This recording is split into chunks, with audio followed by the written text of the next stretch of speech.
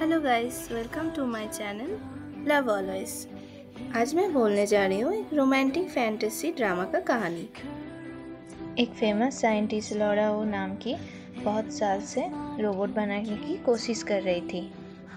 बहुत बार कोशिश करने के बाद आखिर में एक एआई रोबोट बनाती है, जिसका मॉडल वो अपने बेटे की तरह बनाती है और नाम भी अपने बेटे का नाम ही रखती है, नाम सीना। और फाइनल रोबोट का नाम रखता है नाम सीना थ्री। और रोबोट को बनाने के बाद वो रोने लगती है, क्योंकि वो अपने बेटे को बहुत मिस करती थी। इसी तरह से एक साल गुजर जाती है 1997 सियूल। पहले का कहानी। साइंटिस्ट लॉरा, जो अपने बेटे की तरह एक रोबोट बनाई थी, उसका जो इंसानी बेटा था, वो उस रोबोट को देख के गुस्सा हो गया था। क्योंकि सब उस रोबोट का तारीफ़ कर रहा था और वो उसके तरह ही दिखता था। फिर एक दिन बहुत सारा लोग आया और नामसिना को उसका माँ से छीन के ले गया। फिर उनमें से एक जन बोले कि उनका हस्बैंड का डेथ हो गया, जो नामसिना का पापा था।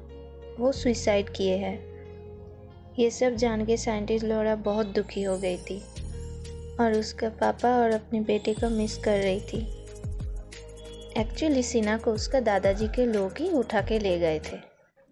फिर लौड़ा जब सीना को लेने गई, फिर सीना लौड़ा को बोली कि उसके साथ वो नहीं रहेगा, वो अपने दादाजी के साथ ही रहेगा वहाँ पे।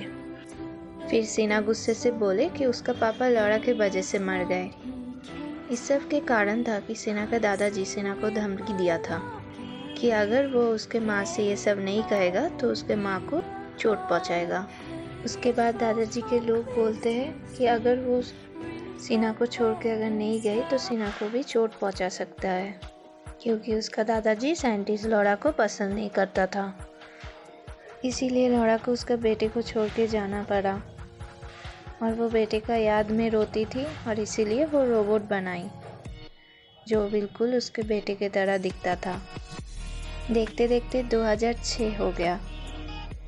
साइंटिस्ट लॉरा तब चेक रिपब्लिक में रहती थी और वहाँ पे नामसीना का छोटा एज से बड़ा एज तक बनाने लगी।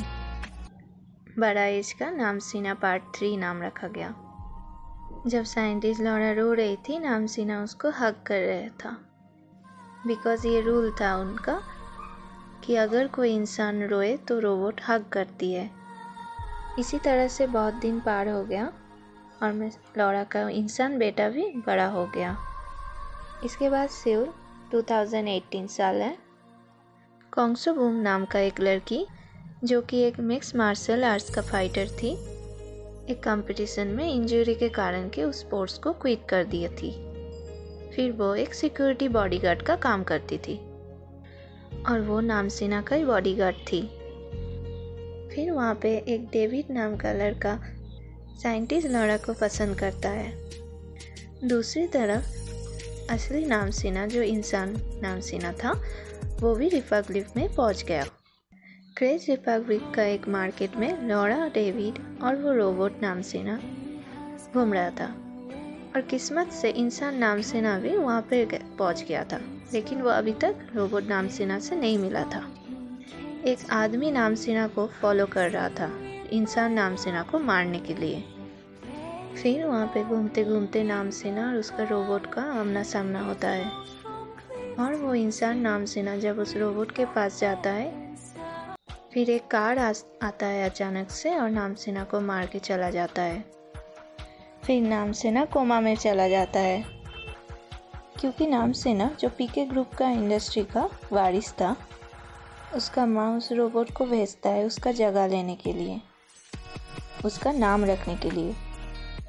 और जो इंसान नाम का, नाम सेना जो कोमा में था, उसका ख्याल रखता था। फिर नाम सेना को देखने उसका एक दोस्त जो जियंग होंग था, वो आया, जो नाम सेना का सेक्रेटरी भी था और एक बहुत अच्छा दोस्त भी था। फिर वो नाम सेना को कोमा में देख के हैरान हो गया था, क्योंकि उस रोबोट नाम सेना को देख के वो चौंक गया था। वहाँ पे किसी को भी नहीं पता था कि नाम सिन्हा कोमा से कब ठीक होकर उठेगा। उसका माँ लौड़ा बहुत परेशान रहती थी और रो रही थी और बहुत प्रे कर रही थी। दूसरी तरफ़ कौंसो बूम को फ़ी के ग्रुप से सिक्योरिटी के जो जॉब कर रही थी, उससे निकाल दिया गया। फिर वो दूसरा काम खोज रही थी और बहुत परेशान में थी। जो इंसान नाम सिन्हा को मारने का कोशिश कर रहा था एक्चुअली वो पीके ग्रुप का मालिक होना चाह रहा था। क्योंकि नाम सिन्हा उसका वारिस था। इसलिए रोबोट नाम सिन्हा वहाँ पे पहुँच गया था, उसका नाम ख्याल रखने के लिए। ताकि नाम सिन्हा को उसका पद उसके ऑफ़िस में मिल सके, उसके कंपनी से मिल सके। फिर वो रोबोट नाम पी के ग्रुप जो था, जो कि एक कार कंपनी थी, वो कार को प्रेजेंट कर रहा था। तभी अचानक वहाँ पे बहुत सारा लोग सवाल करने लगा था। और रोबोट नाम सिन्हा सोच रहा था कि, कि कोई उसे पहचान ना ले। कोई इसे ये जान ना सके कि वो एक इंसान नहीं रोबोट है। दूसरी तरफ़ कॉन्सोवुम एक प्रेस कॉन्फ्रेंस में जाती है और वहाँ पे आग लग जाती है। जिसका नाम है आर यू ह्यूमन टू